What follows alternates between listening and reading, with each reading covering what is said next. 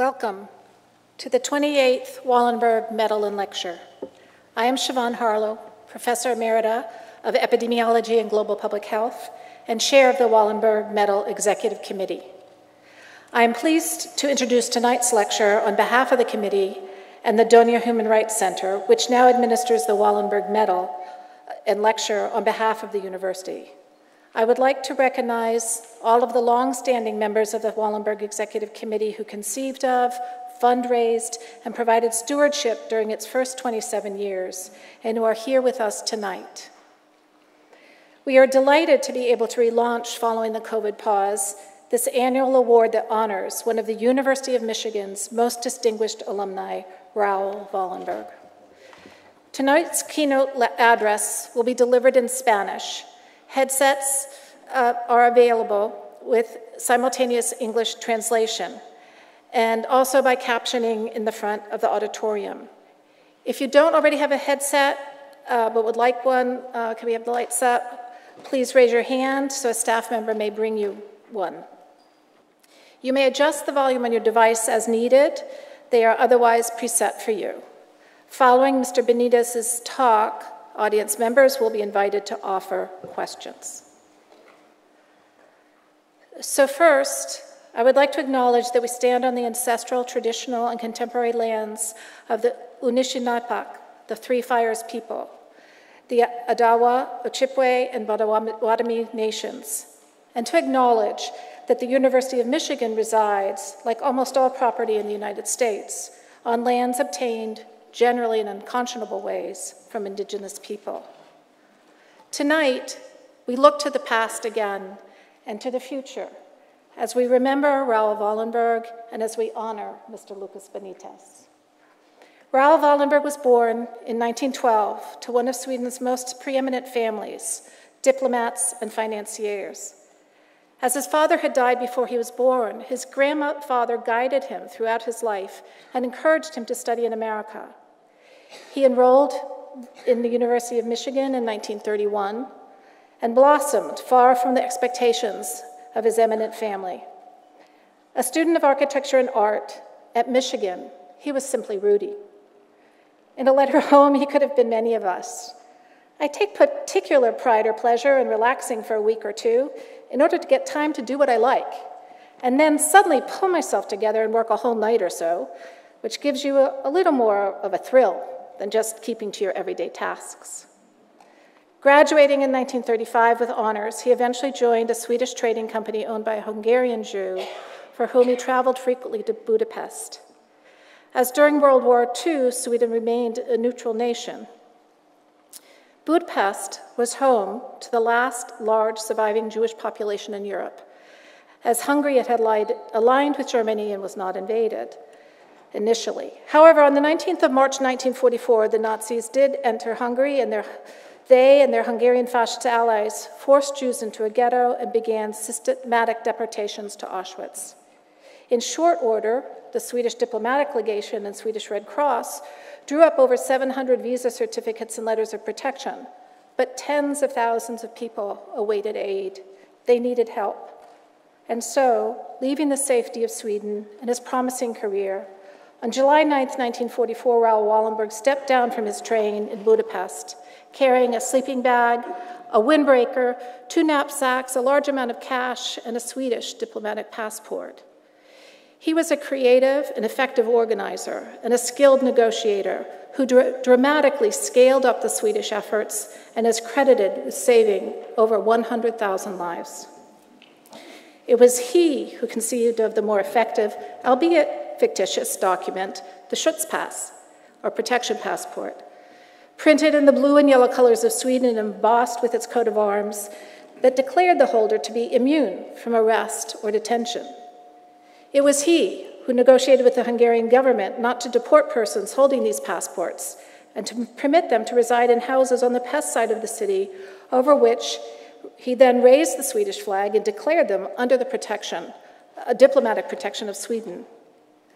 These safe houses eventually housed more than twice the number authorized. Other countries followed suit, and an estimated 50,000 people were sheltered in these houses. During the six months from July 44 to January 45, through his boldness, defiance, courage, and imagination, he saved many more thousands. He stopped the freight trains, bluffing, ordering the German soldiers to open the doors, and pulling people out of the cattle cars. He did the same on the death marches to the Hungarian Austrian border. And then, in January 1945, the Soviets, having liberated Budapest, arrested Raoul Wallenberg, who was never seen again. He is believed to have been imprisoned for years and to have died in the Russian Gulag. Wallenberg's courageous acts, his defiance against brutality and injustice, his strategic organizing, and his fortitude in defense of human dignity remind us that no matter how formidable the odds, one person can make a difference. And now, with great pleasure, I welcome to the podium Dr. Santa Ono, President of the University of Michigan.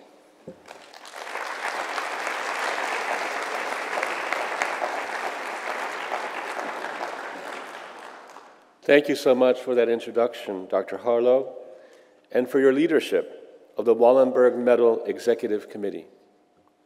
I'd also like to recognize my partner in the leadership team, Provost Laurie McCauley, who has joined us to, tonight. Where are you, Laurie?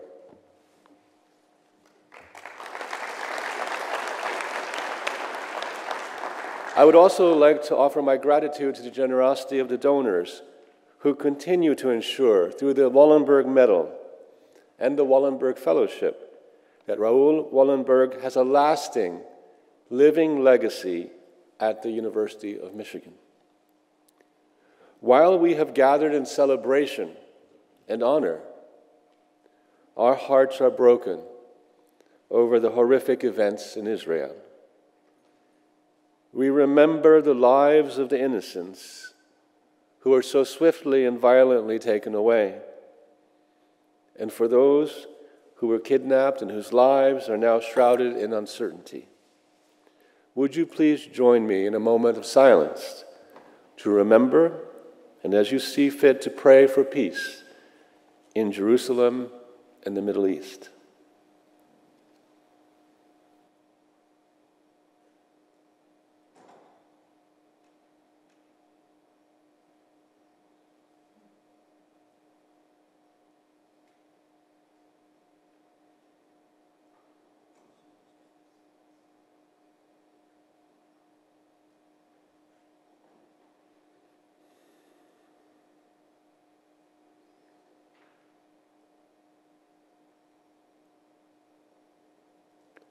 Thank you.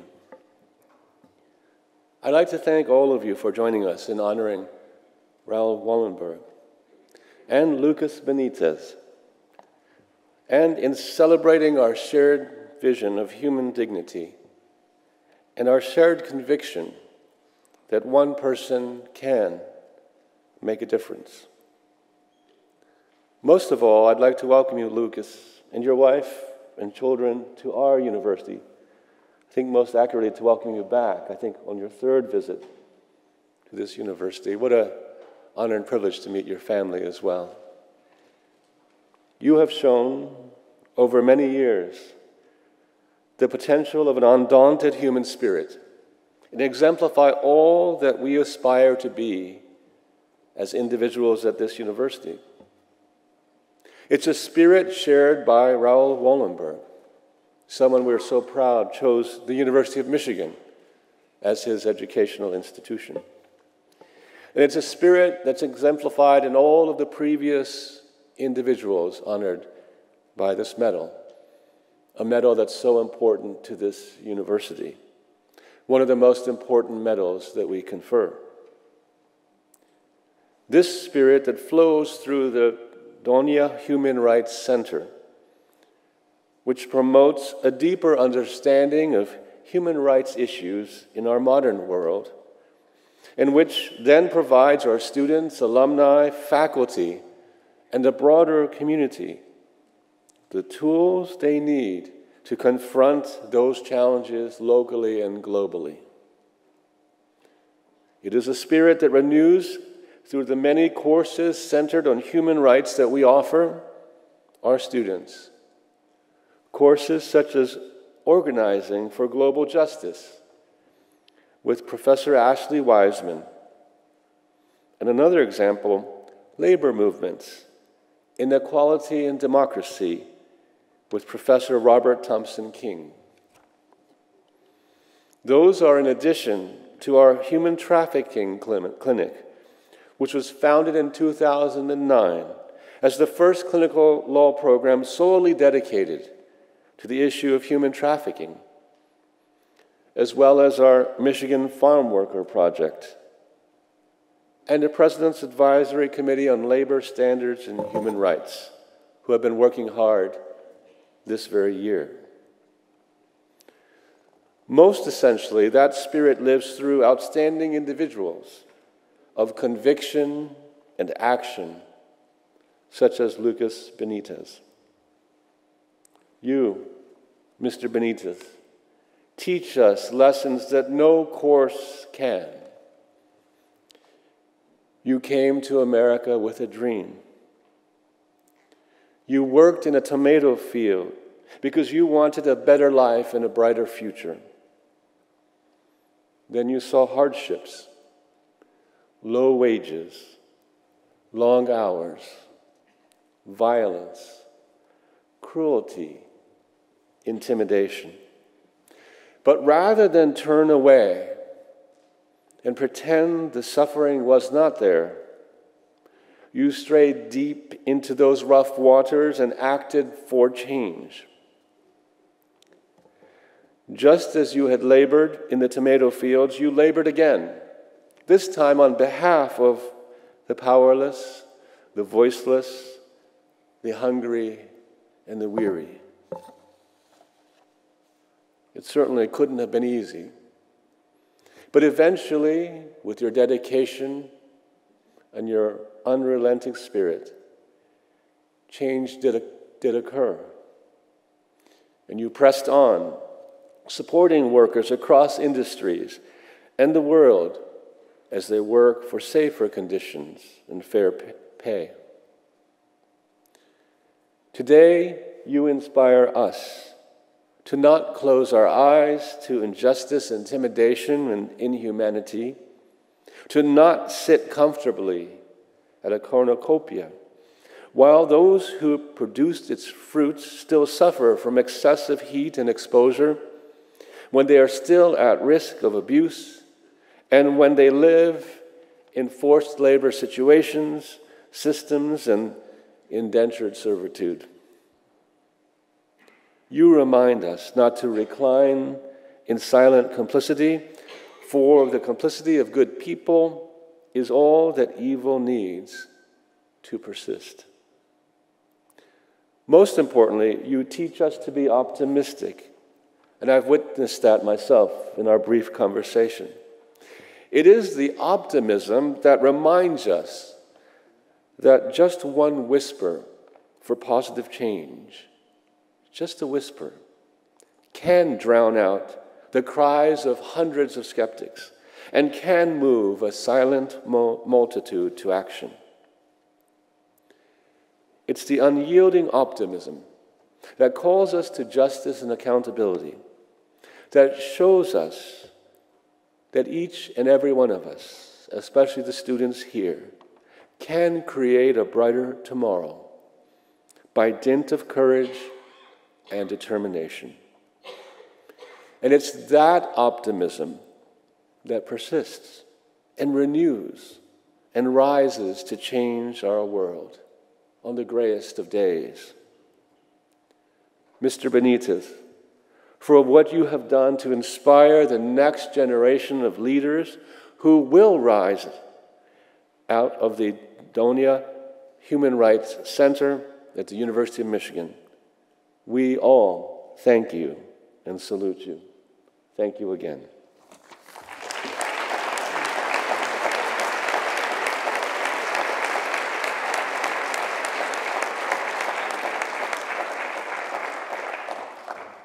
Thank you, President Ono. I would now like to invite uh, Dr. Ann Curzon, the Dean of the School of Literature, Sciences, Arts, to introduce our speaker and to aid in the presentation of the medal. Thank you.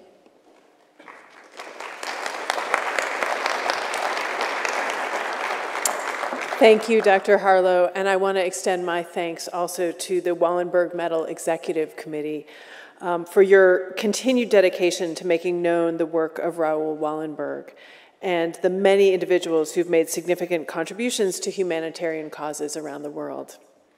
And I am truly honored now to be able to introduce this year's recipient, Lucas Benitez.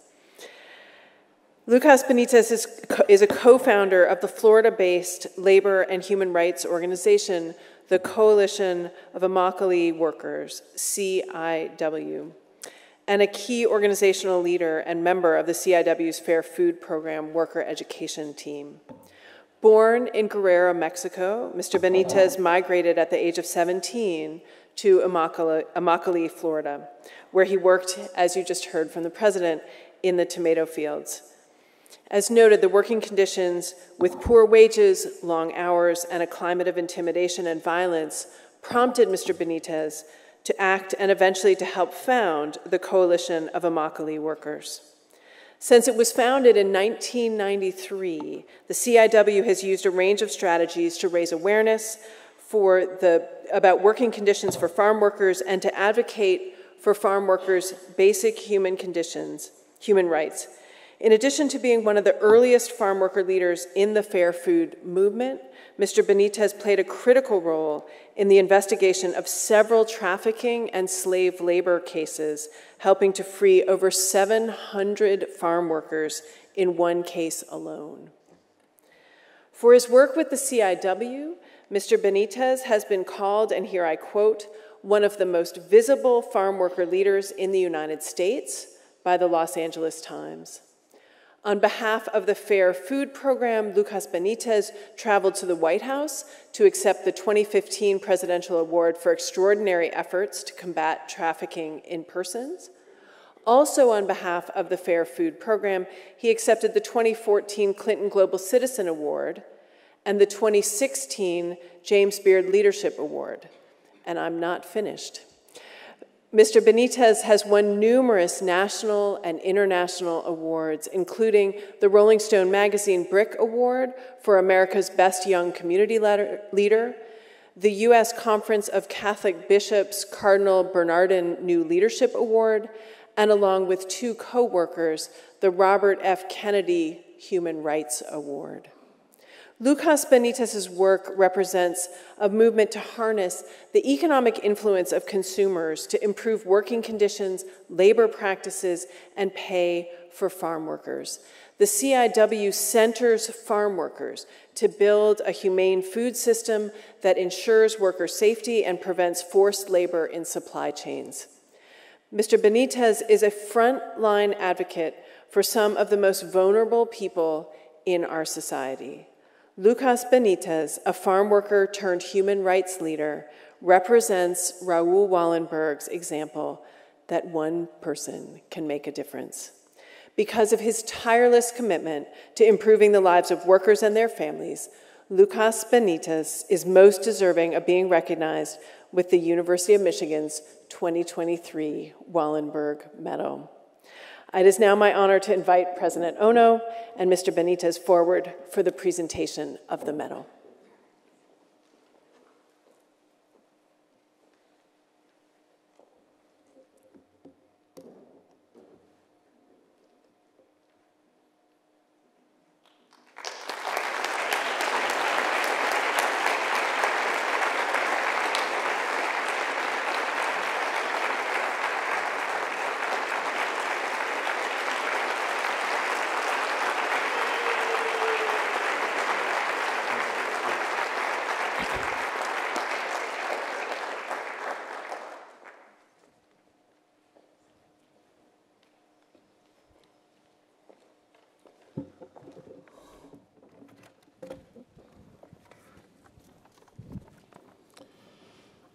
Wow. Buenas noches. Realmente no tengo palabras para agradecer este momento, este gran honor que me han dado esta noche. Como ya se dijo, eh, mi nombre es Lucas Benítez, soy uno de los cofundadores de la coalición de trabajadores de Immokalee Es un inmenso reconocimiento y agradecimiento que el estar también hoy aquí en este escenario parado enfrente de todos ustedes, en, este, en esta prestigiosa Universidad de Michigan, eh, recibiendo este reconocimiento. Primero quiero expresar mi, mi, más sincero agradecimiento también a la universidad en general, al comité del premio y a todos los distinguidos asistentes de esta noche por, por reconocer nuestro firme compromiso por la justicia y la dignidad humana. Mientras me encuentro en este escenario esta noche, tengo presente a los líderes que me, pre me presidieron al recibir esta medalla Wellenberg. Sé que yo y todos mis colegas de CIW aprendimos del legado de leyendas de los derechos civiles como el representante John Lewis, símbolo de resistencia, como su santidad el Dalai Lama, y voces valientes como la de Elsie Weisel. Gracias por invitarnos a unirnos a ellos y ser parte de un legado tan reconocido como el de Raúl Wallenberg. La historia del trabajo valiente de Raúl Wallenberg durante las horas más oscuras del siglo XX son una, impresión, una impresionante y enorme inspiración. Su compromiso inquebrantable de salvar todas las vidas que podía para seguir adelante, su brújula moral sin importar el costo y su dedicación a mantener la dignidad y el valor de cada vida humana individual. Es con humildad que aceptamos una medalla de este gran valor llevando el nombre de Wallenberg. El modelo de su vida seguirá inspirando mi propia historia y la historia de los innumerables otros trabajadores de este pequeño pueblo olvidado de Immokalee, Florida, quienes han trabajado conmigo para determinar el curso de nuestra historia y la historia de nuestros propios derechos humanos. También quiero reconocer los esfuerzos de toda mi comunidad, las décadas de trabajo de innumerables mujeres y hombres que han estado con nosotros luchando para mejorar nuestras vidas. En una nota muy personal, me siento especialmente orgulloso esta noche de tener conmigo a mi querida y amada esposa Verónica, a mi hijo Ixael, Edair, que está en esta noche conmigo, a mi gran amigo Jim Kim, que ha estado desde el principio con nosotros en Immokalee y no nos ha abandonado hasta el día de hoy, al ex embajador antiesclavitud durante la administración del presidente Obama, Lou de Vaca, y muchos otros eh, distinguidos que están aquí, que han estado con nosotros por muchos años en esta lucha. Esta noche quiero compartir la historia de mis 30 años, así que pónganse cómodos porque esto va para largo.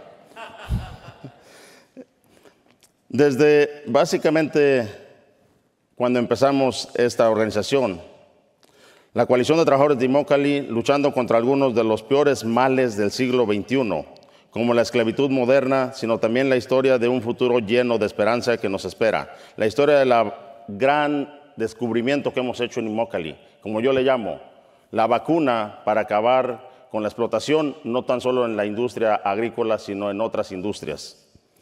Desde su implementación en el programa de comida justa y sus mecanismos de monitoreo y esforzamiento dirigido por los trabajadores han eliminado completamente las peores violaciones de los derechos humanos, incluso el trabajo forzoso, el asalto sexual, la, violencia contra los trabajadores y trabajadoras, el trabajo infantil en los campos, dice, cubiertos por este programa de comida justa. El, el sistema legal, por su naturaleza, es un mecanismo para responder a la situación que los eh, derechos de las personas ya han sido violados. Lo que uno busca es un paso más adelante, un momento de prevención, porque un mundo sin víctimas infinitamente es preferible y más justo que un mundo en el cual las víctimas son forzadas a sufrir crímenes prevenibles y luego buscan representación a través de los tribunales, incluso si pudieran lograr ya después de mucho tiempo que su caso llegue a ellos. Hemos llegado al poder de prevención, no solo en la agricultura, ni tampoco solo en este país. Nuestro programa está básicamente creando un precedente. En industria, la industria del tomate en Florida, la industria del camote, la industria del maíz, las flores de los tulipanes, desde la costa este a la costa oeste y más reciente en tan países tan lejanos como Chile y Sudáfrica. El, el modelo en sí va aún más allá, extendiéndose a cinco continentes en la industria textil, de pescado, de leche y de la construcción. Pero todo esto comenzó en este pequeño pueblo olvidado de Immokalee, Florida, y eso es la historia que les quiero contar hoy. El primer paso para enfrentar una enfermedad centenaria como el abuso de los derechos humanos en los campos agrícolas de los Estados Unidos es llegar a una profunda comprensión de sus orígenes, sus peores síntomas y condiciones que llevan a su propagación. Como, como, trabajadores agrícolas en los campos de naranja y de tomate Florida, a principios de la década de los 90, aprendimos sobre los problemas que, nos afectan y que afectan a nuestra comunidad. No lo aprendimos en un laboratorio, no lo aprendimos en un centro de estudios como este, lo aprendimos con nuestras propias vivencias. A menudo me gusta decir, especialmente cuando estoy enfrente de gente tan ilustrada como ustedes, que yo también tengo mi doctorado y también tengo mi maestría. Mi doctorado es en pescador de naranja y mi maestría es en pescador de tomate. A principios de la década de los 90 había llegado a Florida mi hermano y yo, desde la casa de nuestra familia en las tierras altas del sur de México, en el estado de Guerrero. Éramos dos de seis hermanos creciendo en una casa rural con suelos de tierra. Comenzamos nuestro tiempo en los campos cuando teníamos alrededor de cinco a seis años ayudando a mi padre y a mi abuelo a cultivar la tierra. A los 17 años decidí unirme a mi hermano en buscar un trabajo en los Estados Unidos con la intención de apoyar a mi familia y sacar adelante a nuestros padres y mis hermanos de la pobreza extrema que vivíamos en México. Vine a este país, como muchos, como un refugiado económico más, como tantos antes que yo han llegado a raíz de las políticas tanto nacionales como globales que han empobrecido a países como el mío, México. Creciendo, mi padre trabajaba días muy largos, pero todas las noches él tenía el tiempo y la fuerza para sentarnos con cinco hombres y una niña. Y una cosa que tengo presente hasta el día de hoy en esas pláticas e historias que me contaba mi padre, era que nos decía, somos pobres, muy pobres, pero tenemos una cosa que no tiene precio, que es el trabajo que sabemos hacer. Nunca agachen la cabeza, nunca se humillen ante nadie, porque ni la persona más rica puede poner a trabajar su dinero y el trabajo lo tenemos que hacer nosotros. Por eso valoricen su trabajo y nunca se rindan ante nadie. Estas palabras y eso lo empacamos en nuestra maleta, mi hermano y yo, cuando decidimos migrar a Florida. Al migrar en los campos de los Estados Unidos, sabía que el trabajo sería duro.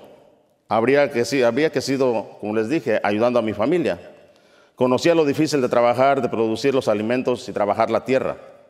Lo que no sabía era que en los campos de Florida, Alabama y otros estados me, encontraría sin protección de mis derechos humanos básicos. No estaba preparado para la explotación que era tan común hace 30 años. Nunca olvidaré estar en los campos y ser empujado a trabajar más y más rápido. En uno de esos días que me encontraba en una labor de tomate, Mientras estábamos poniendo estaca para el tomate, porque el tomate se tiene que poner estaca para que vaya hacia arriba, en mi afán de inteligencia, vi que mis demás compañeros venían un poco atrás de mí y yo pensé, puedo ir más rápido, salir el surco y tomar un poco de aire para regresar junto con ellos en la segunda vuelta. Sin saber de dónde, al terminar el surco y quedarme parado por menos de un minuto, apareció la camioneta de mi patrón dentro de él con aire acondicionado para gritarme que tenía que regresar a trabajar. Solamente le dije, estoy tomando un poco de aire esperando a que lleguen todos para regresar. Él se bajó de su camioneta, empezó a enrollarse las mangas, queriéndome golpear. Un chamaco de 17 años, con 120 libras y con solamente una estaca de tomate en la mano, decidí que iba a enfrentarlo. Creo que fue la primera vez que este patrón vio resistencia de un trabajador. Decidí que me iba a defender. No podía quedarme de manos cruzadas. Pero ¿qué pasó? al siguiente día no tuve trabajo. Por defenderme, por tratar de defenderme, mi trabajo se terminó. Eso fue la bienvenida que me dio la industria agrícola en Immokalee. En aquellos días el salario era tan bajo de 4.25 por hora que aún haciendo las ocho horas nos llevaba bajo el nivel de pobreza de los Estados Unidos.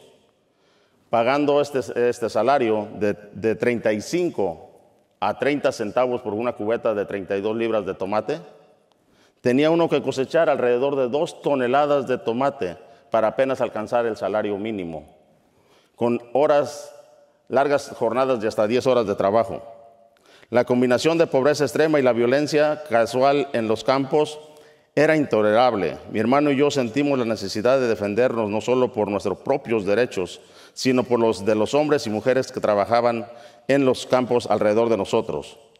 Como decimos en México, no podíamos quedarnos de brazos cruzados. Teníamos que hacer algo. La oportunidad de hacer algo se presentó cuando un pequeño grupo de hombres y mujeres estaban empezando a reunirse en la iglesia católica de nuestro pueblo con un cuarto prestado por el Guadalupe Social Service. Juntos comenzamos no solo a compartir nuestras experiencias de la explotación demasiado común en los campos, sino también a unirnos a tomar acción juntos. Entre los principales dice, comunidades de Imócali en este momento, mexicanos, guatemaltecos y haitianos, decidimos convertirnos en lo que hoy es día la coalición de trabajadores de Imócali. Aunque hay muchos puntos de reflexión importantes en esta historia, básicamente, en 1996, y es algo que lo llevo muy presente, mientras estábamos en una tarde de trabajo normal en la pequeña oficina de la Coalición de Trabajadores de Imócali, apareció un compañero, también muy joven, con alrededor de 110, 120 libras, con su camisa llena de sangre. Venía directamente de un campo de, trabajo. Cuando le preguntamos qué había pasado, había sido golpeado por uno de sus patrones por el simple y sencillo hecho de querer ir a tomar agua. El contratista le respondió cuando él le pidió que iba a tomar agua, tú viniste aquí a trabajar, no a tragar agua. Sin embargo, con el calor ardiente y las temperaturas de Florida, era imposible seguir trabajando. Él decidió tomar agua. Cuando venía de regreso, fue atacado por su patrón, que le bañó de sangre y le cubrió la camisa básicamente de color azul a roja. Cuando nos dimos cuenta y escuchamos su historia, como comunidad decidimos levantarnos y decidimos decir que golpear a uno es golpear a todos. En 1996, así como otras acciones que ya habíamos hecho en el pasado, como la huelga de 1993 con más de, mil 3.000 trabajadores, hombres y mujeres, por una semana. Hicimos una marcha en contra de la violencia física en la labor, lo que nos llevó a ver un cambio inmediato en este abuso que había sido frecuente por años.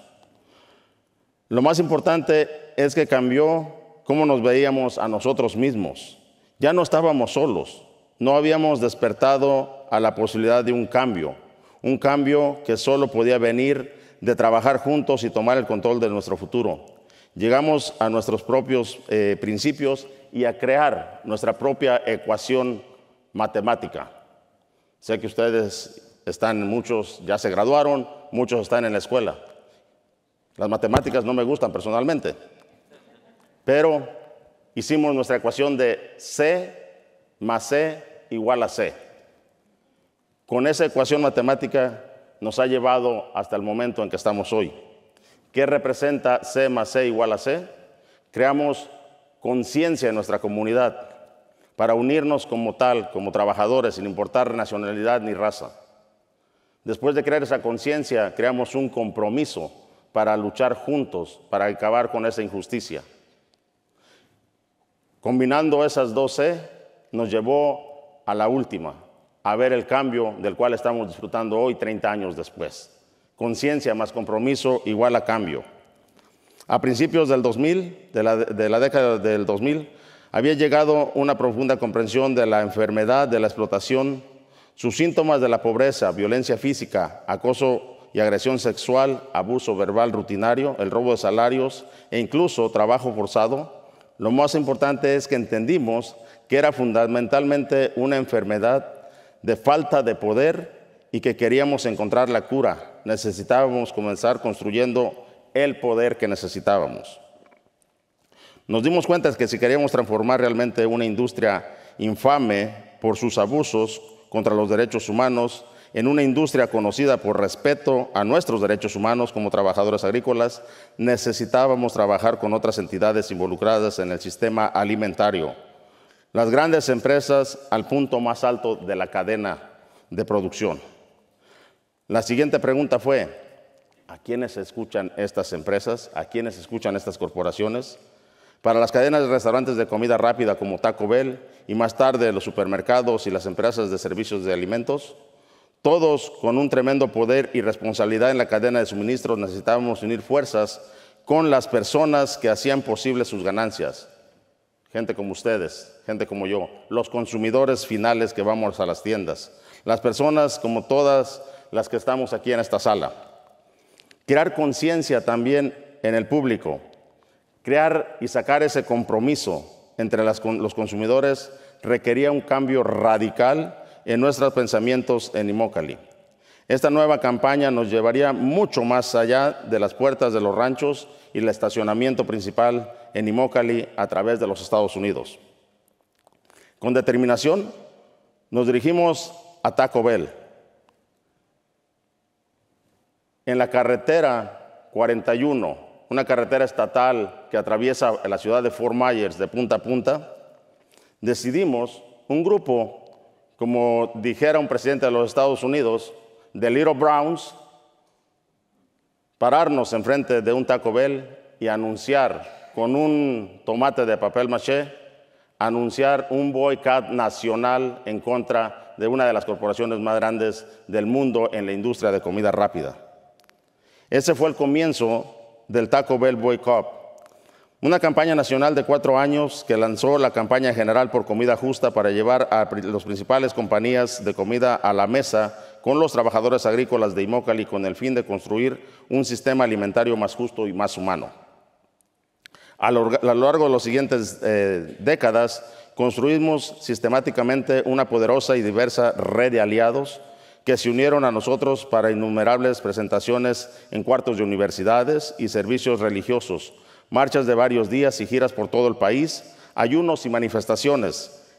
Ganamos nuestra primera victoria contra Taco Bell en el 2005, McDonald's dos años después, Burger King al año siguiente, Subway en el mismo año y después las empresas de servidores de comida como Sodexo, Aramar, Bon Appetit y otros. Cada victoria que fuimos acumulando y que fuimos firmando con acuerdos vinculantes Firmábamos el acuerdo de comida justa, que se convertiría en la base del poder de enforzamiento para nuestra visión de derechos humanos. Muchos años después, Taco Bell y otros acordaron crear tres pilares para estos acuerdos y aceptarlos. Uno, trabajar con nosotros para implementar un código de conducta escrito por los trabajadores, por nosotros, que establecía los derechos y protecciones básicas necesarios para garantizar que los derechos fundamentales fueran respaldados y estuvieran seguros en el trabajo. Dos, pagarían el ahora famoso centavo más por libra, una prima por cada libra de tomate que compran y quería a mejorar los salarios de los y las trabajadoras que forman básicamente en esta industria. Y tres, trabajarían para implementar ambos compromisos juntos con los trabajadores agrícolas, con nosotros en la coalición de trabajadores de Mocali. Estos esfuerzos eran legalmente vinculantes hasta el día de hoy, siguen siendo.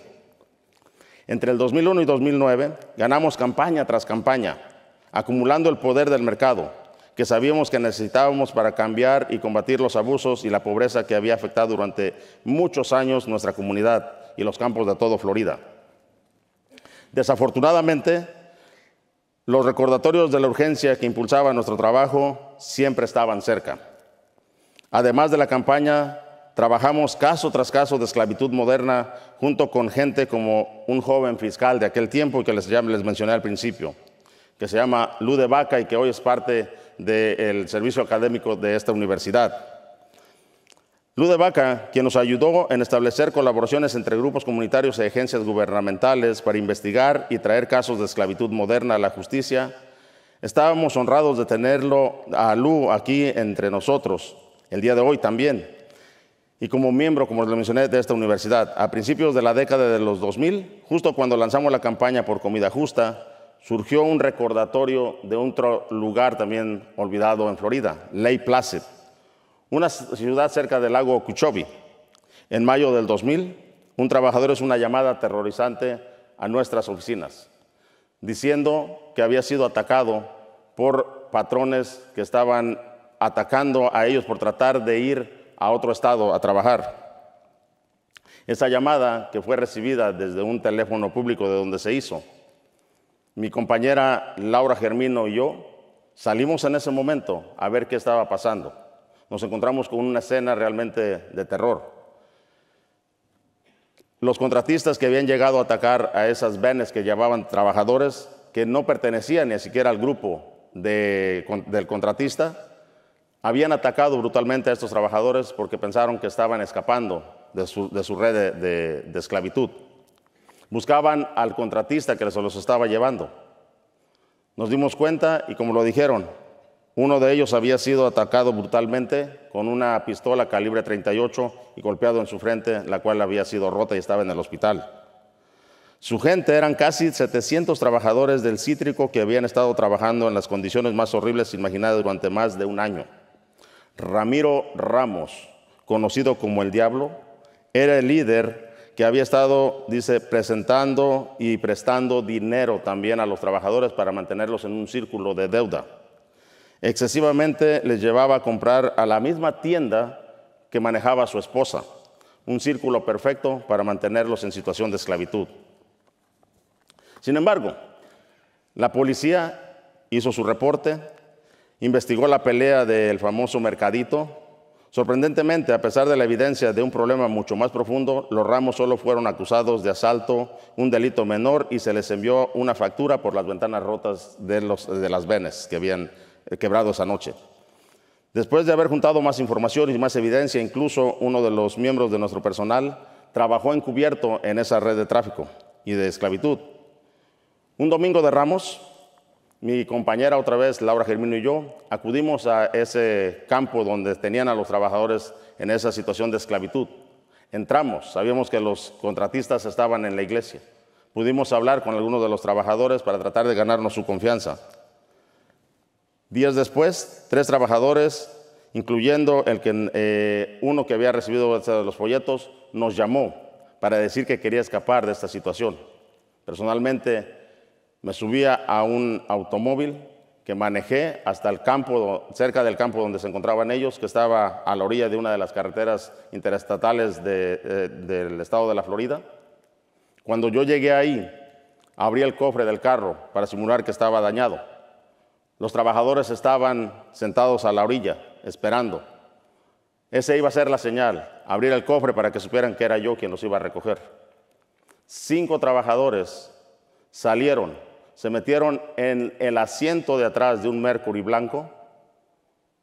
No sé cómo cupieron los cinco y sin embargo tampoco se veían sus cabezas por encima. Yo con el miedo que sentía de que tal vez podrían llegar los eh, eh, Ramiro Ramos, el famoso diablo, manejé en sentido contrario por alrededor de media milla para poder escapar de esa situación, logrando sacar así a esos trabajadores. Estas experiencias y los innumerables otros casos de abuso que nos encontramos me dejaron claro que una verdad y una vez y otra vez ya fuera un caso de robo rutinario de salarios o un caso de violencia y explotación como la esclavitud moderna, cada uno, cada uno de estos actos tenía más raíz, un desequilibrio extremo del poder de parte de la cadena de suministro. También vimos claramente que había no tan solo una solución en el horizonte, que nosotros mismos como trabajadores creamos con el éxito que tenemos hoy. No es el éxito no era recuperar salarios atrasados, cheque tras cheque robado o seguir llevando caso tras caso de esclavitud moderna a las eh, cortes federales de este país. Después de muchos años de increíble campaña, en 2010 Habíamos ganado nueve acuerdos con algunas de las cadenas de alimentos más grandes del mundo, desde Taco Bell, Burger King, Whole Foods, Trader Joe's, Walmart, y finalmente el equilibrio de poder comenzó a inclinarse hacia nuestro favor. Miembros de la del Florida Tomato Growers Exchange, la principal asociación que representa la industria, comenzaron a acercarse a nosotros. Nuestra primera reunión fue con Jones Forms, dueño y CEO de Pacific Tomato Growers, uno de los mayores productores de tomate en la nación. Otro cofundador, Greg Asbey y yo nos sentamos frente a él en una mesa con unas tazas de café. Durante años habíamos estado en dos lados del conflicto y por fin estábamos sentados frente a frente, juntos en la mesa, buscando forjar una solución. Para mí ese momento representó la primera oportunidad para sentarnos y vernos como realmente somos, primero como seres humanos y segundo como verdaderos socios trabajando para transformar y mejorar una industria compartida. Fue un verdadero momento decisivo, donde pudimos expresarle que el único afán de nuestra organización, la Coalición de Trabajadores de Imócali, desde el principio de la primera huelga en Imócali hasta el día de hoy, nuestra meta no era eliminar de ninguna manera o echar a perder el negocio del tomate en Florida, sino distinguir nuestro tomate y hacer un programa donde la solución fuera ganar, ganar y ganar. A partir de ahí, las piezas de rompecabezas para nuestra solución a los abusos en los campos cayeron en su lugar más y más rápido. Poco después de esa taza de café con Jonas Formes, firmamos un acuerdo con Pacific. Dentro de unos meses firmamos otro con Lickman Farms, otro de los mayores productores de tomate en el país y poco después realizamos una conferencia de prensa para firmar un acuerdo con todo el Tomero Growers Exchange.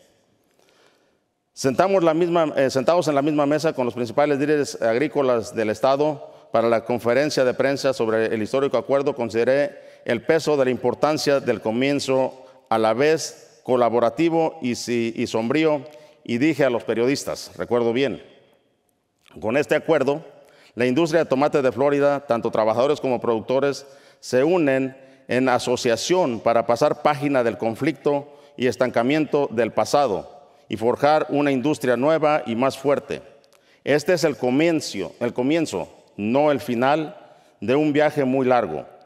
Pero con este acuerdo las piezas están en su lugar para ponernos a trabajar y hacer de la industria del tomate de la Florida un modelo de responsabilidad social para el siglo XXI. Tan esperanzados como estábamos, poco sabíamos que en el 2010, qué tan ciertas serían estas palabras.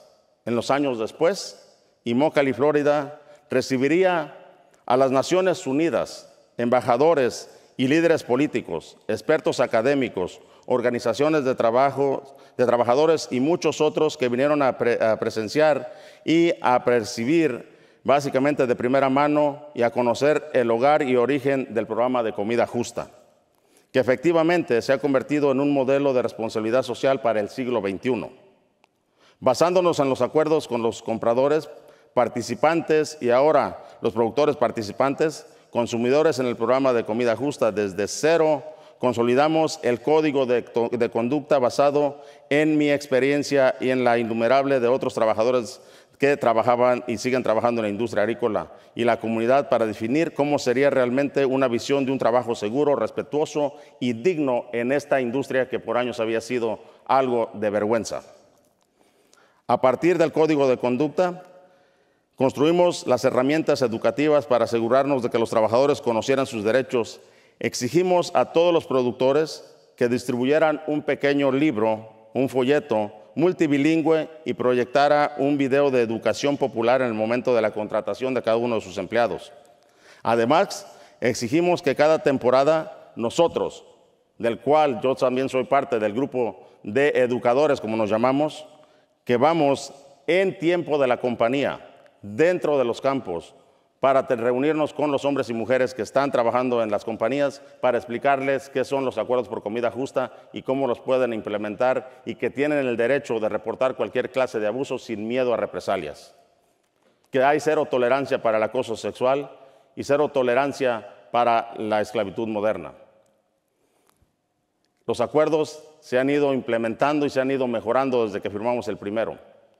Hoy, junto con los productores, hemos formado un grupo de trabajo, la Coalición de Trabajadores de Imócali, y los productores, donde nos sentamos a la mesa para discutir cómo hacemos mejor la industria.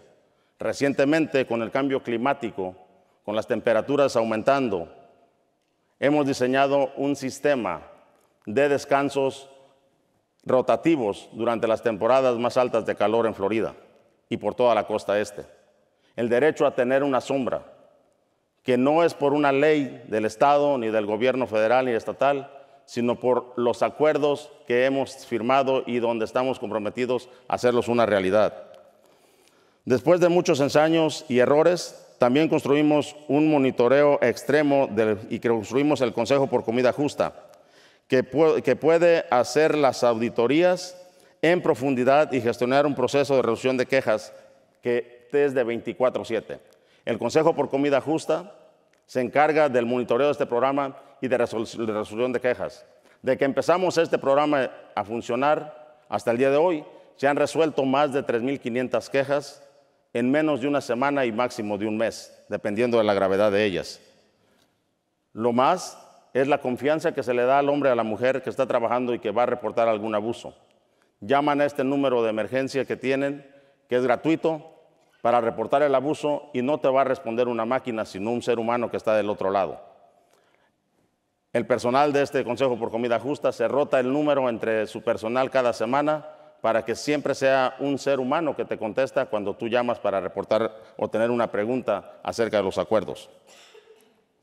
Sin un producto básicamente así sería imposible que estos acuerdos estuvieran funcionando, porque todo está basado en el enforzamiento de ellos. Todas estas herramientas están respaldadas por el ingrediente más importante para este remedio, eh, el poder real, una receta bien equilibrada de incentivos y consecuencias del modelo.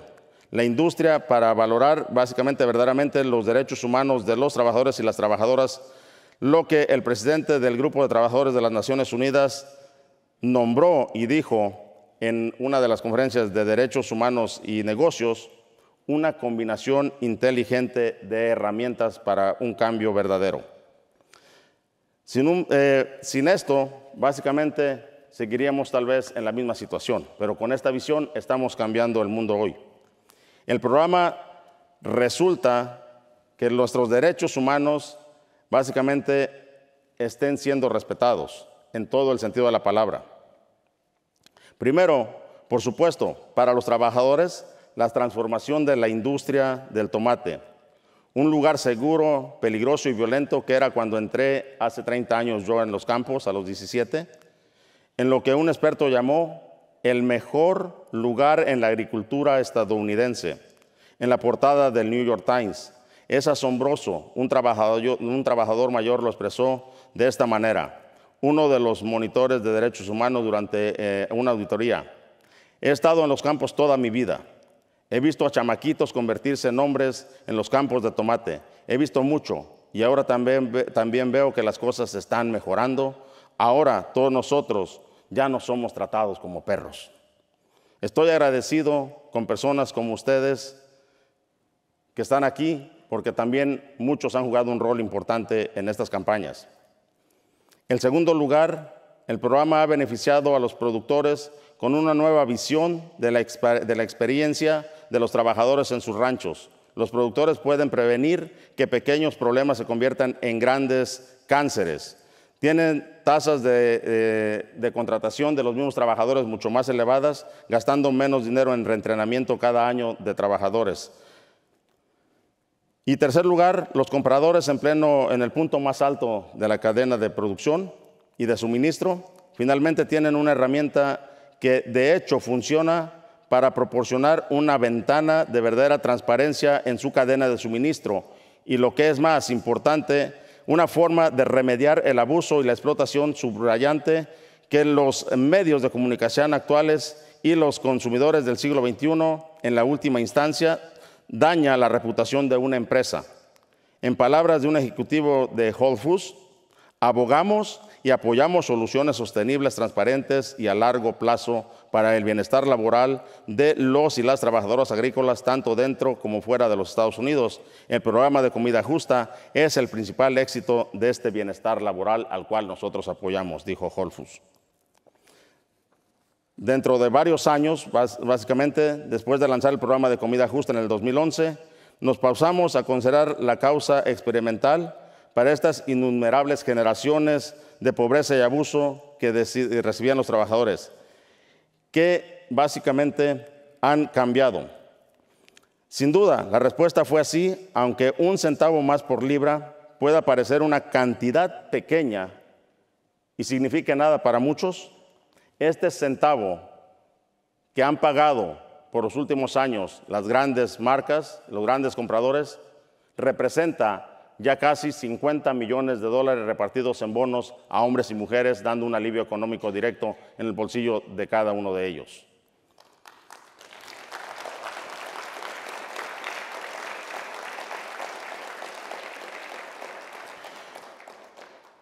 Realmente ese fue el momento que eh, realizamos una prueba en una nueva vacuna prometedora y hemos visto hacer maravillas con pacientes que han sufrido durante mucho tiempo una enfermedad que, que se consideraba incurable.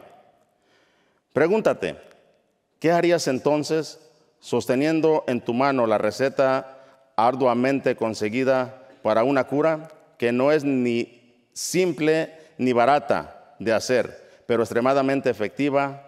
Te tendrías básicamente que aliviar el sufrimiento en pocos eh, afortunados en eh, el ensayo original. Esta vacuna que nosotros hemos creado básicamente no ha quedado en Imócali. Esta vacuna se ha esparcido por diferentes partes. Eh, en el 2014 nos presentó el primer gran salto adelante en la expansión del programa de comida justa. En un fresco día de enero me encontré una vez más sentado en una mesa en la que nunca soñé estar. Estábamos en una empacadora de Ligman Farms, al sur de Inmocali, reunidos en unas, en unas sillas y mesas de picnic. Estaban fotógrafos, trabajadores agrícolas, aliados, personas de los productores, periodistas, increíblemente la principal del grupo de trabajo de las Naciones Unidas sobre Empresas y Derechos Humanos a mi izquierda estaban dos colegas que también habían trabajado en los campos, Gerardo Reyes y Nelly Rodríguez. A mi derecha, dos ejecutivos de la mayor comprador de productos agrícolas del mundo, Walmart. Con este acuerdo histórico, el programa de comida justa se expandió más allá de las fronteras de Florida a seis estados por la costa este a lo largo del país.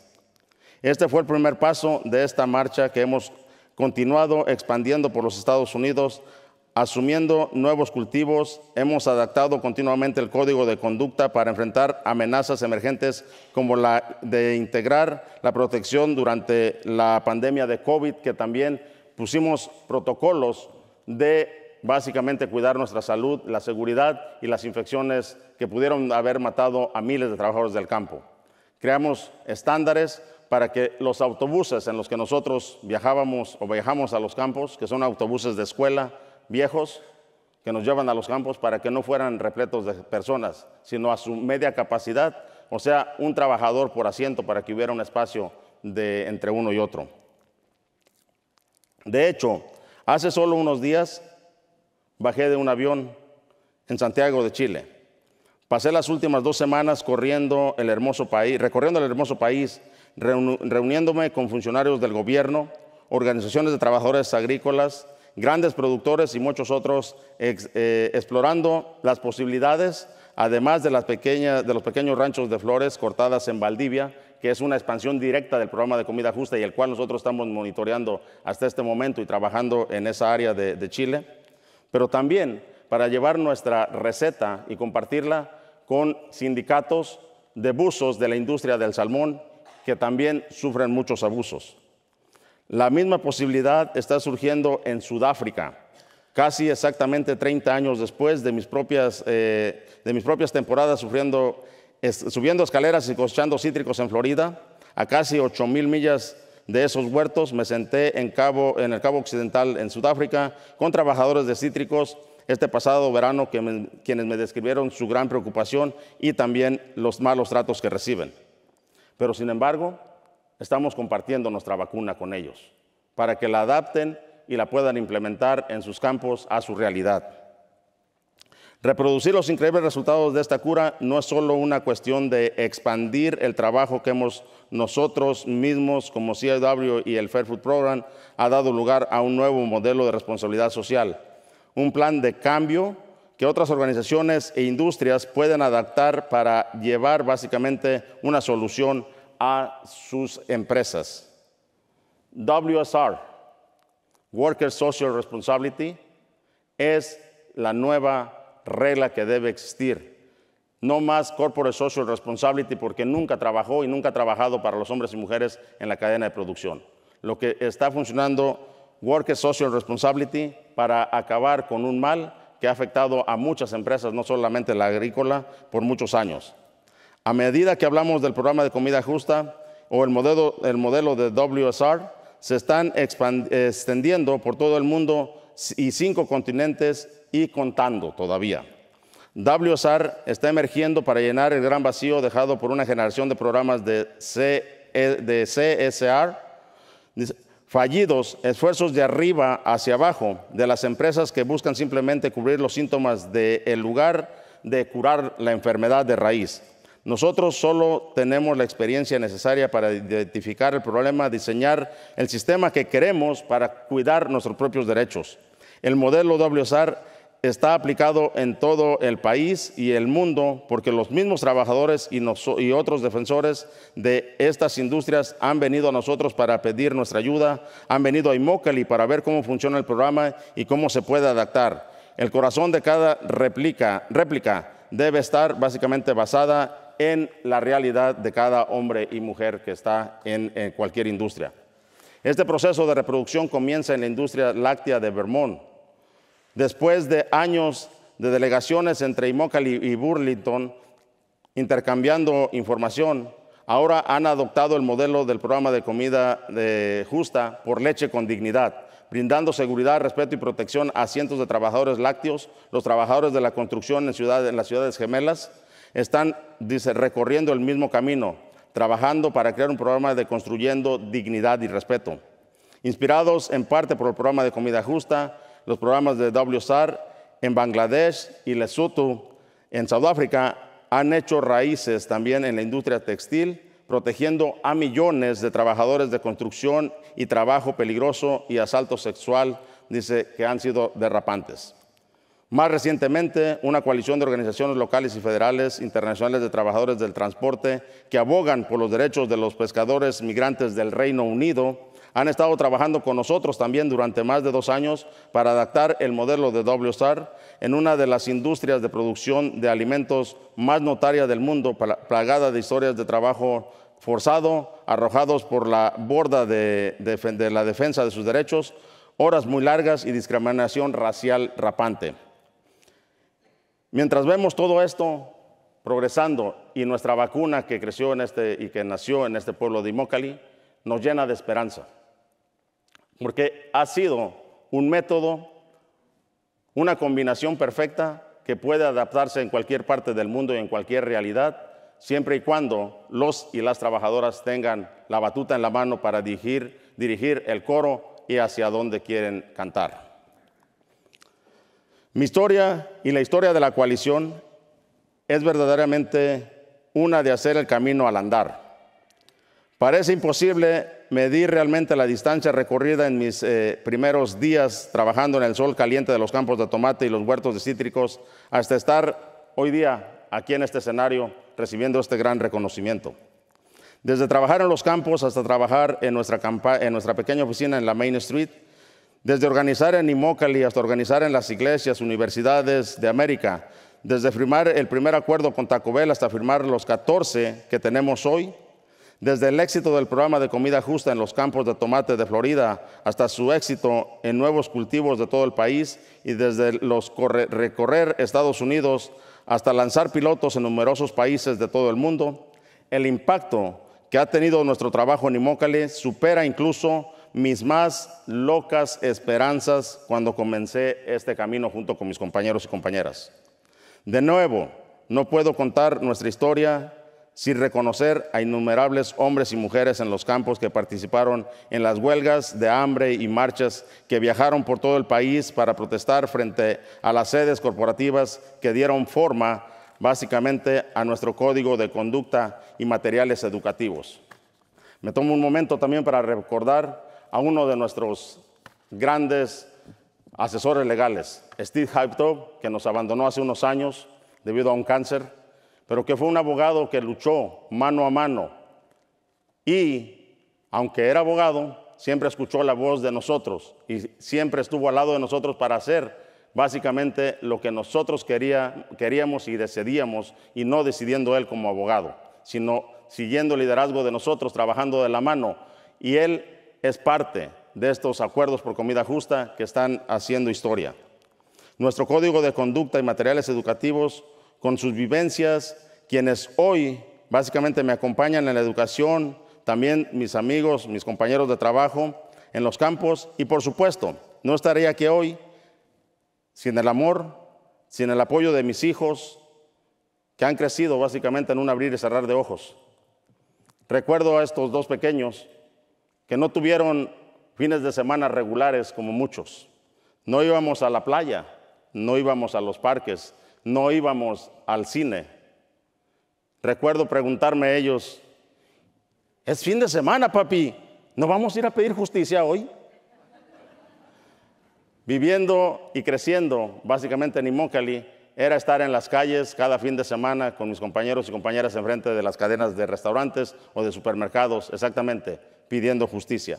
Gracias a ellos, gracias a mis padres, gracias a mis hermanos y gracias a cada uno de ustedes que están aquí hoy y que han caminado con nosotros. Este año marca tres décadas de que fundamos la Coalición de Trabajadores de Imócali y además de, de maravillarme con el impacto de estas tres décadas, estoy seguro que el mayor impacto, los avances más emocionantes y los cambios más concretos y duraderos para los y las trabajadoras vulnerables están aún por venir.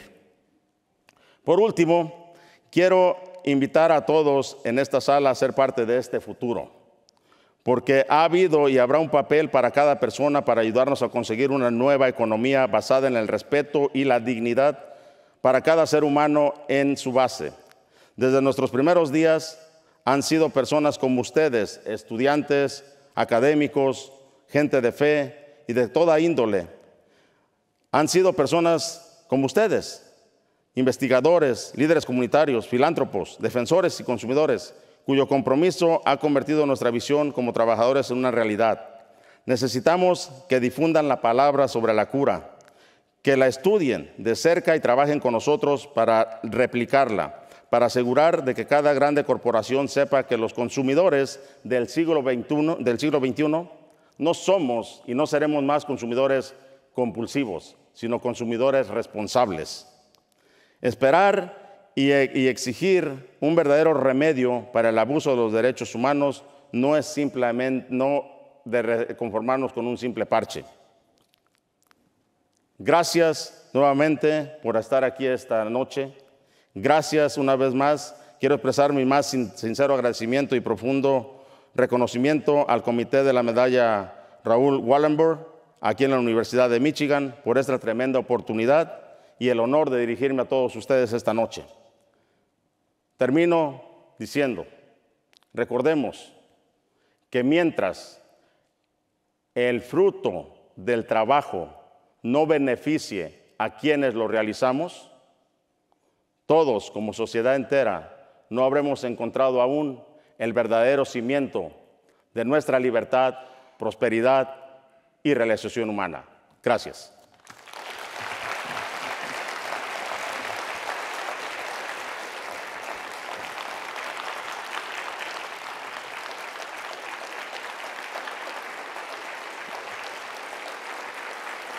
Thank you.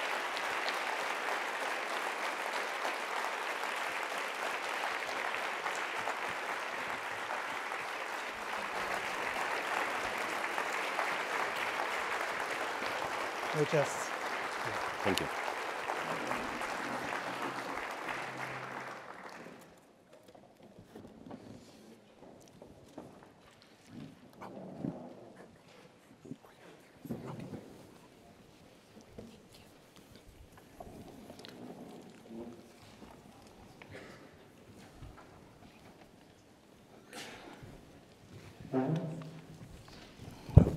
Good evening. My name is uh, Steve Ratner. I'm uh, the Bruno Sima Collegiate Professor of Law at the University of Michigan Law School, and also I have the honor of being the director of the University of Michigan's Donia Human Rights Center, under whose auspices the Wallenberg Medal is awarded. Uh, we're delighted to have time tonight for uh, a great Michigan tradition and a tradition of the Wallenberg Lecture to have our audience uh, pose questions and a discussion with our speaker. Um, uh, usted uh, pueden preguntar en español o inglés. We have our interpreter uh, with us tonight, so you can speak in whichever language you choose. Um, I'd like to invite our first questioners will be two, uh, two students with a connection to the, uh, the Donia Center. Um, the first is uh, Nina Nafziger, who is an undergraduate uh, Donia Human Rights Center fellow in the class of 24. And I'd like to invite her to, uh, to ask our first question. Uh, Nina, thank you. Thanks, Steve. Um, so I guess thank you again for being here. Uh, as an undergraduate student and looking out across the room, I think I see at least a couple familiar faces of other undergraduate students who are really interested in human rights work, advocacy, organizing in general when you get to the points in the road where it seems like nothing's working, it seems like you're stuck, it seems like you're not making that progress, I guess what would you say to people who feel like they're at that fork in the road and they don't know where it's going to go in the future, whether you're going to be successful in your organizing and that consciousness raising in your community, since this is something that you've prized so like you've prized so highly during your work, that consciousness raising and like constantly moving towards the better world, what would you say to people who feel like they're stuck in their organizing process? Yo creo que eh, todos sentimos tal vez en un momento como esa frustración. We have all felt those moments of frustration. Eh, especialmente en una comunidad como Immokalee, eh, donde la movilidad de las personas es frecuente. Especially in a community like Immokalee, which is a migrant worker community, and everyone is constantly moving. Pero cuando se tiene una visión, cuando se tiene una estrategia y cuando lo que quieres eh, es mejorar ese lugar de trabajo o ese eh, eh, problema que tienes en tu comunidad o donde sea, la solución no es correr. La solución no es, muchos me han dicho, ¿por qué no saliste de, esa industria y te fuiste a trabajar a, la construcción o te fuiste a trabajar a otro lado? La solución no era correr. La solución era quitar esa frustración. Eh, era romper ese círculo, ese círculo vicioso de explotación para realmente eh, hacer una industria distinguida por respeto lo que era una industria y ha sido la industria de los Estados Unidos llena de abuso y de esclavitud. But when you have a vision, when you have a strategy, and you are living yourself those frustrations, the response is not to run away. The response is, you know, and many people ask me, why didn't you just leave the industry? Why didn't you go work in construction or another industry? And for me, the solution again was never to run away, but to confront that frustration uh, that had helped to turn this industry and to put our vision and strategy into place in order to transform an industry that, again, for so long uh, had been known for its abuse into one that was known uh, for its dignity. Y esa frustración se puede básicamente aplacar sabiendo de que tú estás haciendo solamente el camino para otros que vienen atrás. And the other thing is to take that frustration and use it. Use that as energy to apply it to your work and to know that you are blazing a path for those who will come after you. Uh, next of, of, our first question will be from Ariana Peruzzi, who is a PhD candidate in philosophy and the recipient of one of our Donia uh, graduate, fellow, uh, graduate student uh, summer awards. Ariana? Thank you again, Senor Benitez. This was such a touching talk, and on behalf of the students, I really want to thank you. Um, my question is, you said you were inspired by civil rights movements, and I was wondering if you could tell me more how they inspired you, whether there were movements in Mexico, the US, both, specific tactics, or leaders that uh, you, were, uh, yeah, adapted strategies from. Thanks. Sin duda. Eh, los que me presidieron a, esta medalla, como el representante John Lewis, como el Movimiento de Derechos Civiles, del cual yo no conocía cuando llegué a este país, pero al, al verlo, al estudiarlo más de cerca, vi que también alguien tuvo que trabajar para que por lo menos yo no me recibiera los abusos que recibieron eh, en el tiempo de la segregación. Absolutely, without a doubt. Uh, we're very much inspired, especially by, you know, a former recipient of this medal, John Lewis, of course, was uh, a legend in the human rights or in the civil rights movement. Uh, and what I took from that, I hadn't ever even known that history before arriving to the United States. And in learning more about that history, one of the things that struck me was all of the work and commitment of people who had come before me to ensure that I wasn't experiencing the same abuses uh, that people of color in this country faced during the times of segregation.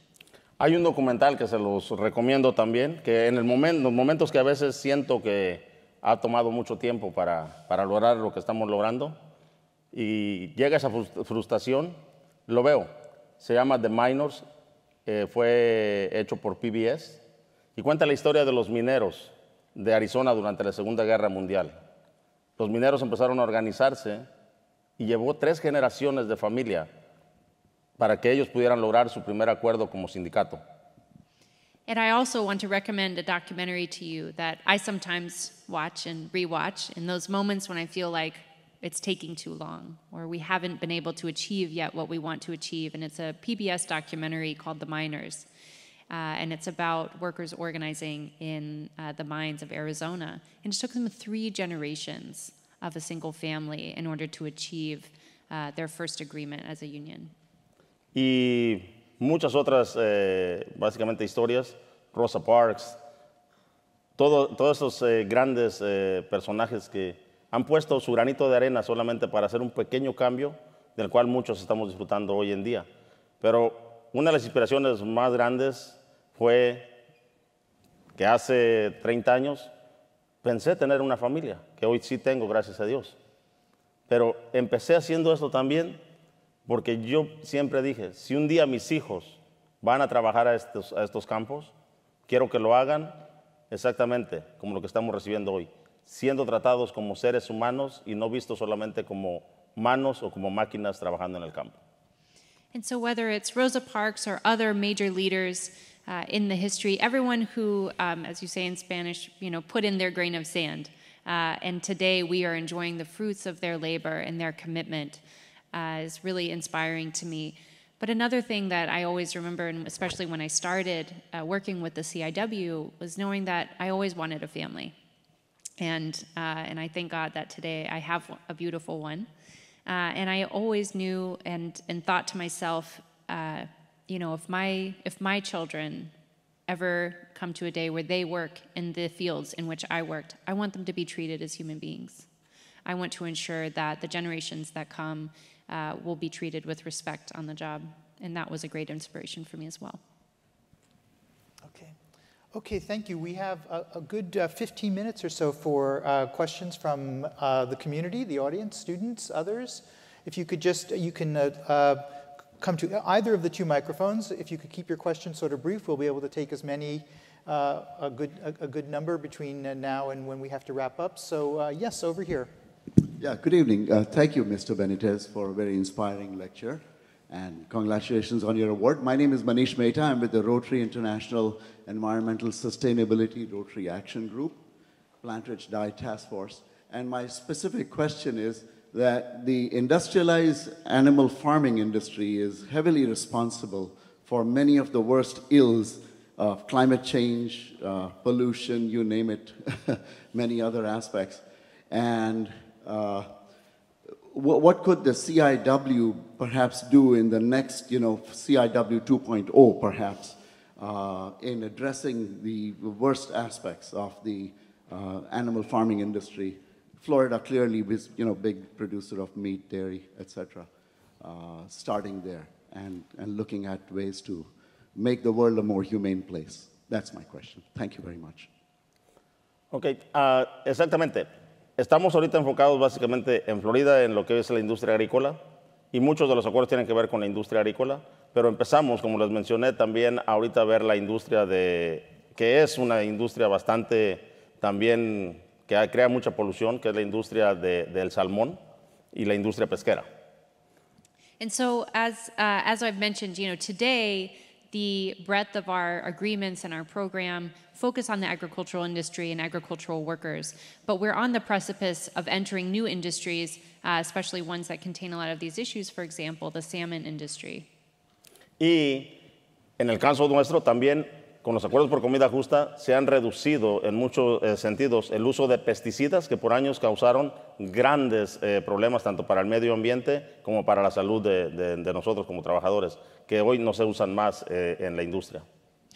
And another uh, element that's important to understand, even about the program as it, exists today, uh, is that it has really contributed to the reduction in the use of harsh chemicals because uh, treating workers well actually is also good uh, for other things. And so, uh, thanks to the program, there's been a reduction in uh, the kinds of use of those chemicals because of the enforcement of the program as well. Entonces el programa lo seguimos eh, expandiendo y es- está en la mira seguir, seguir con, con otros eh, asuntos de- que son igual de importantes que derechos humanos, derechos de medio ambiente, derechos de animales y todo lo que tiene que ver. Uh, and what we hope is that this model, as we continue to expand and ensure that other uh, workers uh, starting in agriculture and hopefully in others, that this model and this movement will hold great uh, lessons for leaders in uh, the environmental in, uh, movement, in the movement for animal rights, and the movement for a clean climate. Thank you very much. Okay, thank you. And uh, yes, over here. Buenas noches, me llamo Karen Connor, and I'm affiliated with the Interfaith Council for Peace and Justice, which is working with the Coalition for Drive Michigan Forward, which is working something that's related to workers, but it's more through government, is trying to reinstate driver's licenses for all Michigan residents, regardless of citizenship, which impacts our farm workers because it puts them at risk if they need to drive to work without um, license. And I, right now, the, in the House of the, you know, the Michigan House, the Speaker of the House is not allowing a vote to come to the floor.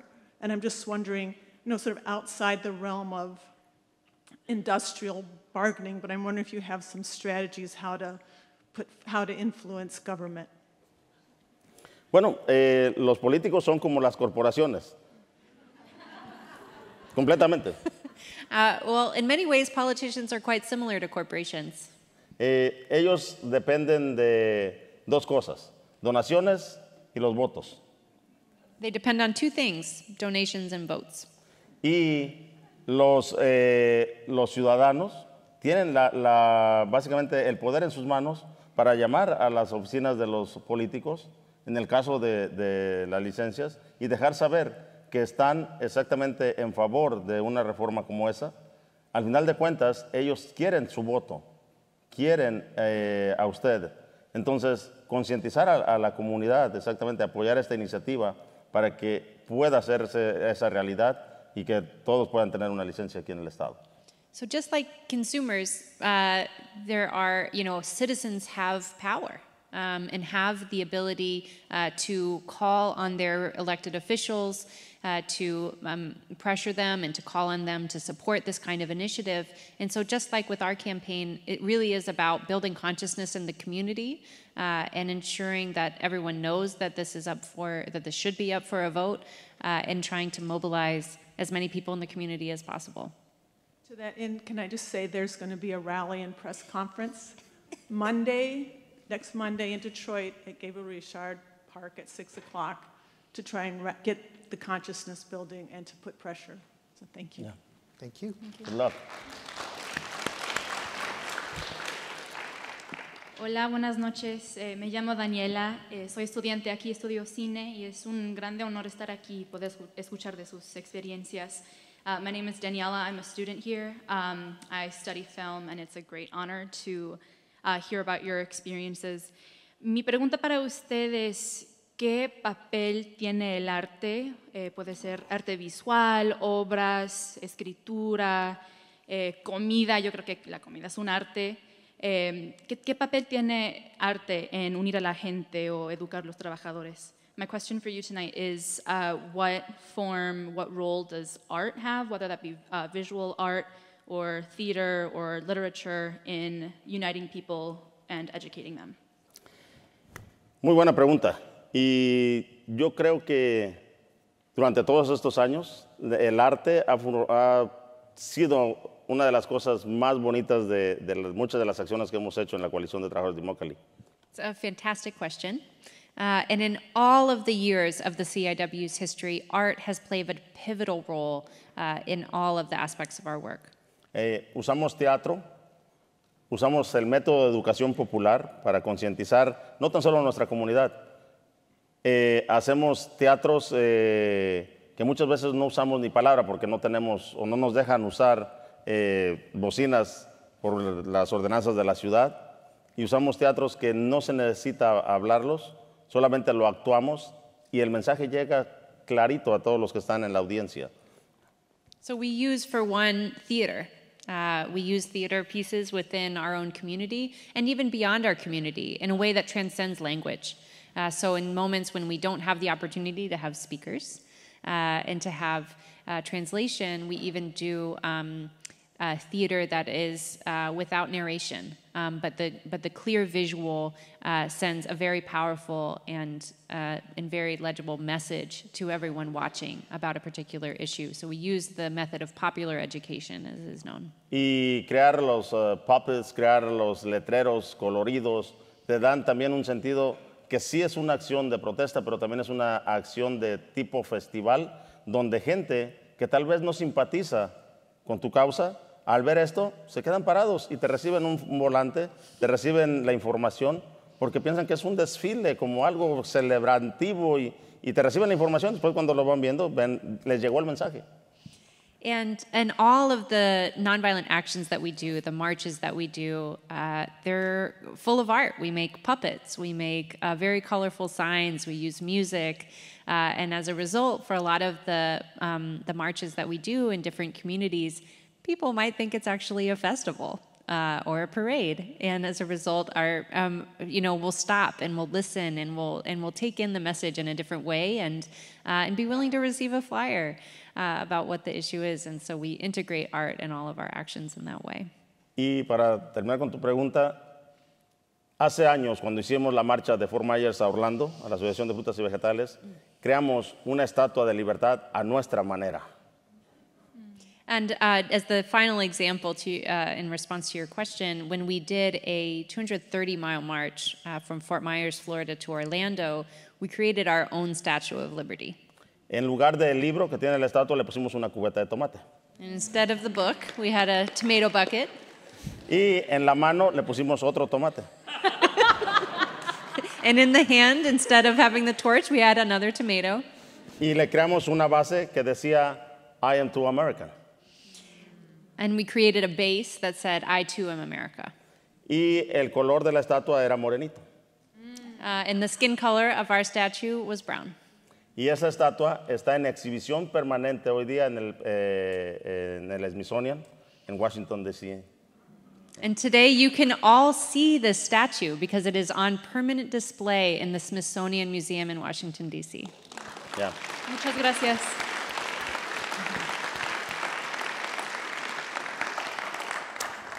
Please. Hi, my name is Skylar. I'm a third year law student here, and I just want to echo everyone else's thanks. Um, I was wondering, you mentioned multiple times in your talk that the root cause of the problem was this imbalance of power. And I was wondering, given this huge imbalance of power between you and these huge corporations like Walmart, what you think made them decide to sit down with you in the first place in the early stages of the campaign, and how we can maybe replicate that in our own campaigns. Bueno, primero yo creo que, como les dije, el rol de concientizar al, al público, concientizar a las personas, a, a los que tienen el, el poder en las manos, que en este caso nuestros son los consumidores. And so, first and foremost, just to underscore, it's really about identifying which public you need to talk to and, and raising their consciousness. So, for us, that was consumers. Eh, la segunda, tal vez tú ves a tu oponente como tu enemigo, pero realmente estás peleando con él porque quieres sentarte a la mesa con él. Y tienes, sí, tal vez tener ese coraje, pero también esa apertura de ver la oportunidad de cuándo sentarse y estar no tan solo en un sentido de confrontación, sino de entendimiento de las dos partes para llegar a un acuerdo. And the other thing is, even in the midst of a campaign, you might be tempted to see the company or the person that you are trying to, um, to win something from as your enemy. But the reality is, if you are being strategic, you are fighting for the ability to sit at the table with that person uh, and with that company because you want to be able to work together in order to achieve something and to achieve a solution. So even when you feel that frustration or that anger, uh, because something is, is not continuing to move forward, you always have to keep that door open uh, in your mind to know that what you're actually working for is a solution, is the ability to, uh, to collaborate with that person to actually implement change at the end of the day. Y yo creo que al final de cuentas, en nuestro caso, eh, los acuerdos por comida justa han estado hablando por sí solos. Irónicamente, Walmart ha sido la única corporación que no hemos tenido que hacer un solo letrero en contra de Walmart y ellos llegaron solitos a la mesa para pedir ver el programa, estudiar el programa y después decidieron juntarse al programa. The other thing is that the Fair Food Program, after being implemented, somewhat speaks for itself because of its success.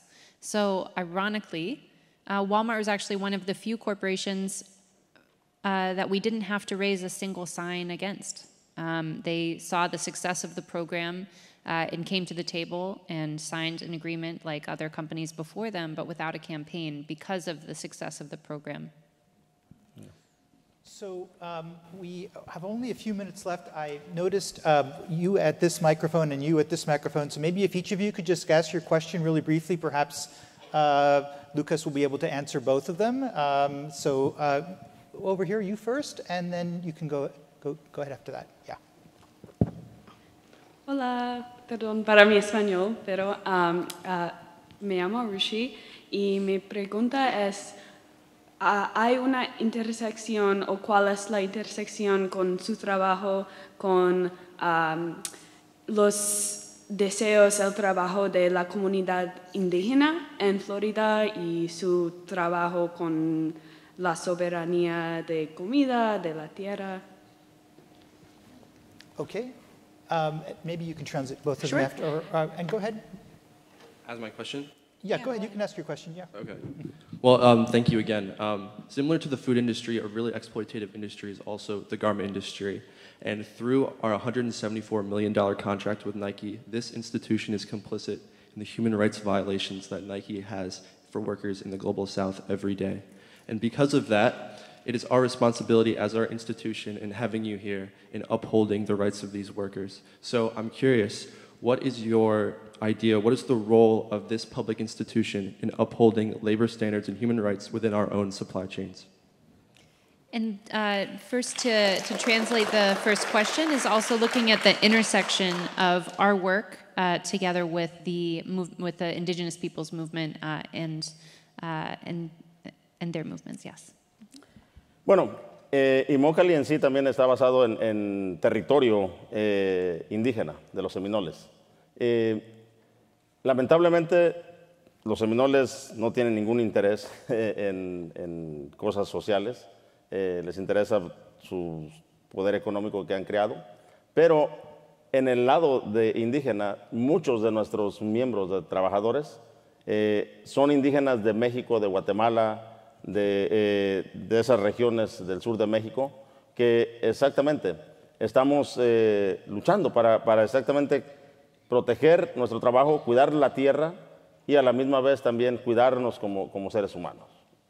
Um, and so, actually, there is we are neighbors with the Seminole Reservation in Immokalee, um, and it, at least in our time in Immokalee, there has not been a strong social movement there, or an interest in, in participating in those. But uh, in looking at a at a broader with a broader broader aperture, this question, the vast majority of our members from Guatemala and Mexico are indigenous. Um, and actually, that's a huge part of the roots of our organization and the activism of our organization uh, comes from indigenous uh, communities in Mexico and Guatemala. And his En- question? Yeah. Y exactamente, en- nosotros siempre hemos dicho, estamos en desacuerdo en cualquier violación de derechos humanos en cualquier industria. Y por eso, como lo mencioné en, en la presentación, el programa lo están a- a- se adaptó en Bangladesh, se adaptó en Desutu, en la industria de, de textil.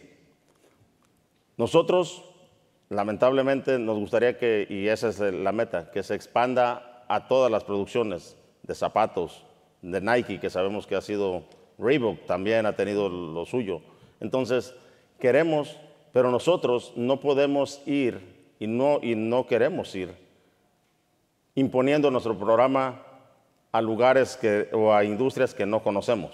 Si ellos vienen, como lo, hizo, hicieron los trabajadores de, de Suto, lo hicieron los eh, de Bangladesh, a pedirnos y a preguntar sobre el programa, nosotros con mucho gusto, como lo dije, vamos a compartir nuestra vacuna con ellos para eliminar cualquier clase de abuso en la cadena de producción.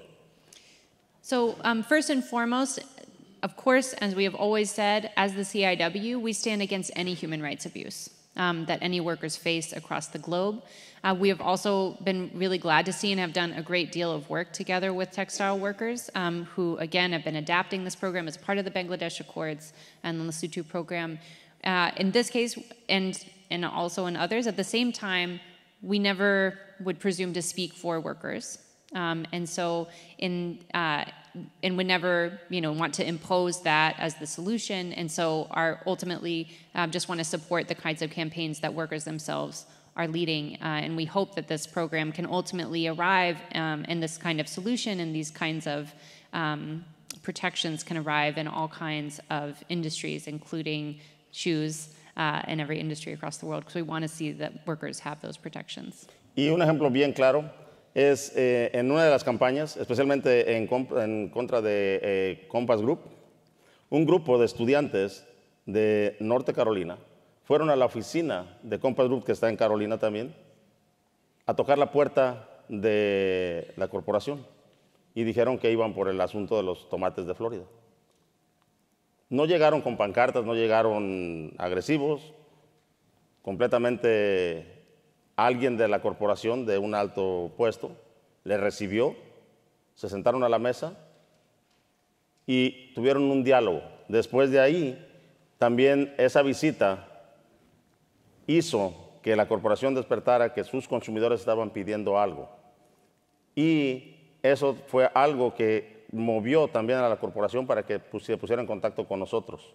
Entonces, ustedes como estudiantes tienen un poder enorme que pueden usar de, de manera, eh, como siempre lo he dicho, todas las acciones de la coalición han sido en una forma pacífica, en una forma de diálogo y poniendo en la mesa que queremos esa situación de ganar, ganar y ganar. And also, just to reinforce the importance of the kind of work you're doing, students have a huge role in this. Um, and so I remember one of the pivotal moments for us in our campaign was having students come and knock on the door of Compass Group USA, which is one of the largest food corp- service corporations in the country. Um, and in those, in that particular case, they didn't even arrive uh, with signs uh, or uh, or with a protest, but said, "Hey, we want to sit down uh, and talk about this." And that was one of those pivotal moments in which people in power heard from a very core group of constituents that uh, and consumers that this was the kind of change they wanted to see. And it was moments like that that helped to push Compass Group uh, to take that kind of action. And so, you as students in supporting these workers, uh, you have an incredible amount of power and responsibility uh, as uh, as students in the university to help advance these campaigns. And you have a voice, and you should keep using it. Thank you. Well, thank you very much to all the questioners, and I'm sorry there uh, are some we have not had time to. Perhaps you can uh, speak to our speaker uh, informally after, after the evening is over. Um, it has been a, uh, a wonderful and very moving um, evening, I think, for all of us. Uh, I'd like to thank, start, of course, by thanking Lucas for your uh, wonderful presentation. I think your consciousness plus commitment equals change could be our new University of Michigan motto if we get tired of the other one. Um, it really expresses what we, what many of us are trying to do um, as teachers, and what many of our students are trying, are, are working on as future, as future leaders. Um, So thank you for, for inspiring us and for giving us the consciousness and the commitment uh, to lead to that change.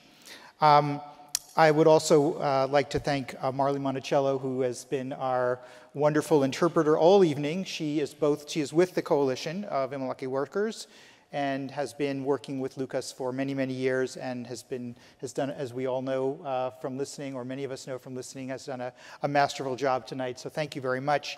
And